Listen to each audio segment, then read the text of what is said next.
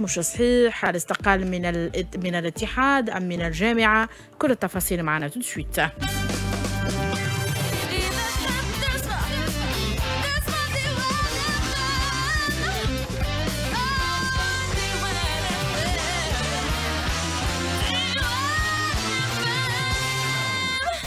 إنفو وانتوكس. يحضر معنا في المباشر كاتب عام الجامعة العامة للتعليم الثانوي سيد لسعد اليعقوبي.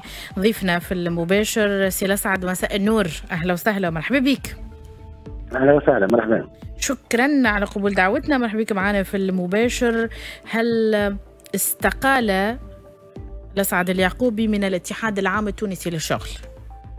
لا هو الحقيقة يعني الخبر عالي من الصحة يعني هو الأخبار يعني يتلخص في أنه في يوم يعني يوم 21 أكتوبر هناك مؤتمر الجامعة العامه للتعليم الثانوي. واللي أنا في الوقت الحالي أنا كاتب العام نتاعها وأعلنت منذ مدة مش توا يعني منذ مدة وأكدت هذا اليوم أني لن أترشح مجددا إلى آه، عضوية الجامعة العامة للتعليم الثانوي. وهذا لا يعني أني استقلت من الاتحاد أو آه، تخليت يعني عن واجب النقابي داخل المنظمه أو آه، داخل القطاع كمناضل نقابي داخل القطاع. ولكن لن أتحمل مجددا المسؤولية. وشرحت الأسباب. قلت انه هناك زوج أسباب رئيسية.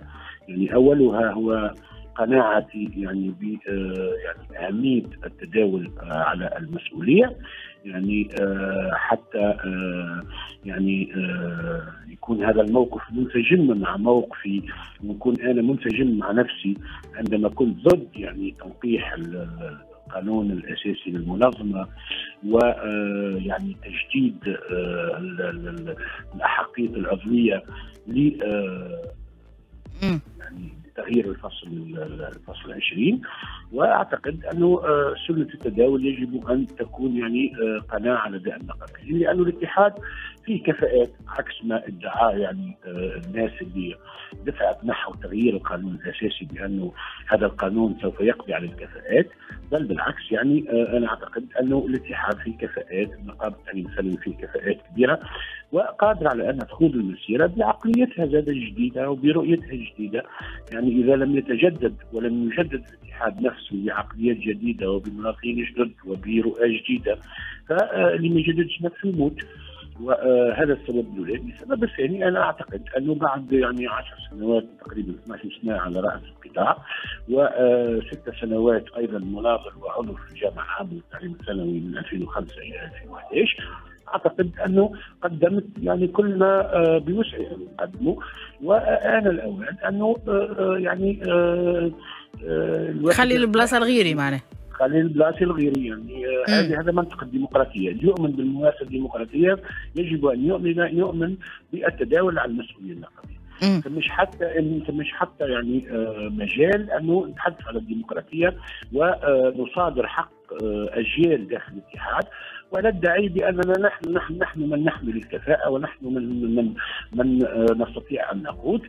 ونشرع لأنفسنا يعني آه، أنه آه، يعني انتقاداتنا ونضالنا ضد نظام الاستبداد نظام بن علي وإلى غير ذلك. فكان أحد أسبابه أنه هذه الأنظمة هي أنظمة مستبدة وجاثمه على صدور شعبها فما آه، يلزمش نكونوا إحنا يعني المثال الآخر يعني النسخة الأخرى يعني نكونوا جاسمين على صدور يعني النقابيين والشغالين.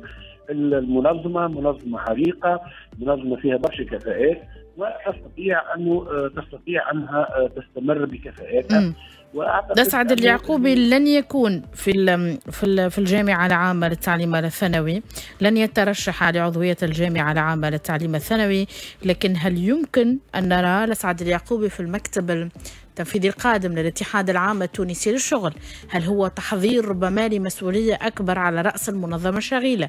هل يمكن أن يترشح للأمانة العامة؟ مثلا هو اللي صار في الاتحاد يعني منذ عامين تقريبا يعني بعد يعني الانقلاب على القانون الاساسي للمنظمه يعني إحنا أنا كنا كنت في موقفي واضح كنت معناها مع كثير من النقابيين كان موقفنا واضح. أن ما حدث يعني داخل المنظمة كان يعني ضربة كبيرة للمنظمة. وحذرنا من تداعيات هذا. وقلنا راه الانقلاب على قانون المنظمة سوف يخلق شئنا أم أبينا قيادة يعني ضعيفة وقيادة غير متجانسة. والظروف السياسية ربما تتغير لأنه الناس اللي كانت يعني معولة على وضع سياسي معين من أجل تثبيت الانقلاب على قوانين المنظمة يعني اليوم الوضع السياسي تبدل. واللي نشوفوا فيه اليوم من تداعيات هذا الانقلاب على واقع المنظمة هو ان المنظمة نحب ولا ما عادش حتى على أحد أن دورها الوطني تراجع كثيرا. والقينا يعني اليوم قيادة غير قادرة على أنها تواجه يعني المشاكل تواجه التحديات أنها يعني تفرض نفسها كخيار وطني. هل خفت صوت المنظمة؟ هذا ما ينجمش يخفي على أحد الناس الكل تعرف الناس الكل تعرف الناس الكل تعرف. ان اليوم صوت المنظمه خفت كثيرا والمنظمة من داخلها يعني أصبحت غير قادره على أنها يعني تكون المنظمة القوية، المنظمة اللي تقول لا وقت لازم يكون لا، أنها تكون منظمة شريكة في الخيار، شريكة في التصورات، شريكة في البناء، ولكن للأسف أنا هذا الكل حذرنا منه سابقا، اليوم تعيش منظمتنا نحب ولا نكره، تعيش وضع وضع يعني صعب والمنظمين أبناء الاتحاد ما لازمهمش يتخلاوا على دورهم؟ اليوم دور المنظمين هم أنهم اليوم يبحثوا على مشروع نقابي وطني نقابي نابع من يعني قناعات النقابيين من برا. هل يمكن أن يكون اليعقوبي لسعد اليعقوبي الأمين العام القادم للمنظمة الشغيلة؟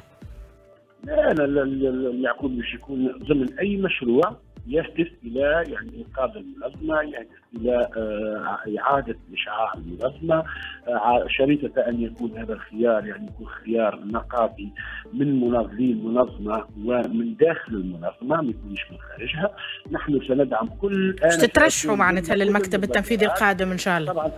طبعا الترشح حتى تكون يعني مسألة ثانوية ولكن اذا كان ثم مشروع يعني وطني حقيقي مشروع نقابي حقيقي من أجل إنقاذ المنظمة ومن أجل يعني إعادة يعني اشعاع المنظمة وتخليص المنظمة من كل الأخطاء السابقة. أنا أعتقد أنه لن يتأخر لا أنا ولا كثير من المنظمين داخل المنظمة باش يقوموا بالدور. واضح.